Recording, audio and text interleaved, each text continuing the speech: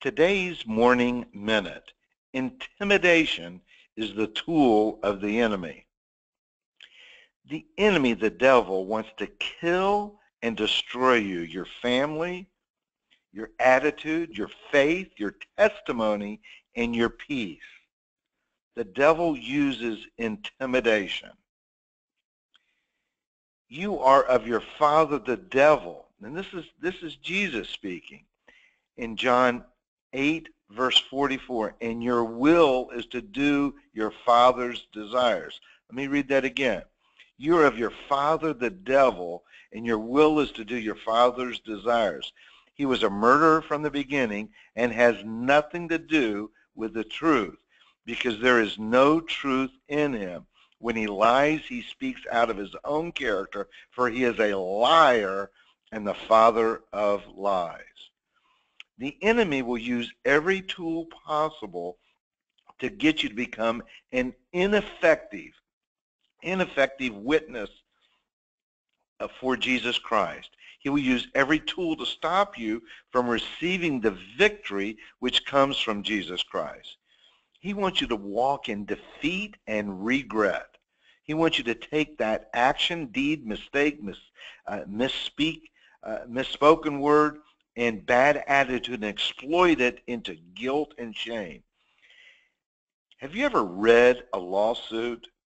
Lawsuits are accusations used to bring fear, condemnation, and intimidation. An attorney composes the accusation document filled with fear, intimidation, and guilt.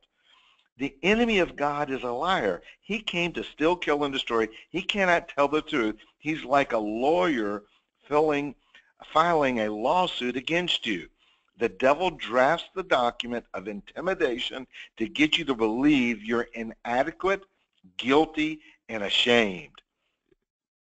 In 1 Peter 5, verses 8 and 9, we read, Be sober-minded, be watchful. Your adversary, the devil, prowls around like a roaring lion, seeking someone to devour. Resist him, resist him, firm in your faith, knowing that the same kinds of suffering are being experienced by your brotherhood throughout the world.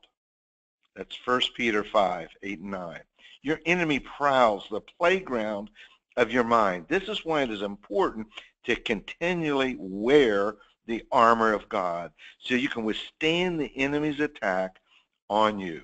Put on the whole armor of God that you may be able to stand against the schemes, the schemes of the devil. For we do not wrestle against flesh and blood, but against the rulers, against the authorities, against the cosmic powers over this present darkness, against the spiritual forces of evil in the heavenly places. Therefore, therefore, therefore, take up the whole armor of God, that you may be able to withstand the evil day, and having done all, all to stand firm, stand therefore, having fastened on the belt of truth, having put on the breastplate of righteousness, and the shoes for your feet, having put on the readiness given by the gospel of peace.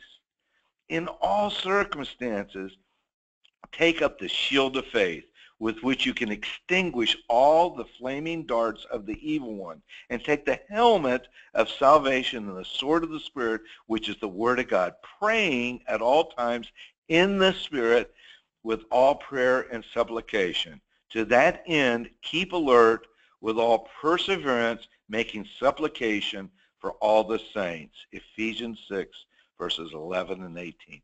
Go in peace today, knowing that the enemy has been defeated and you have power over the enemy in Jesus Christ. Amen and amen.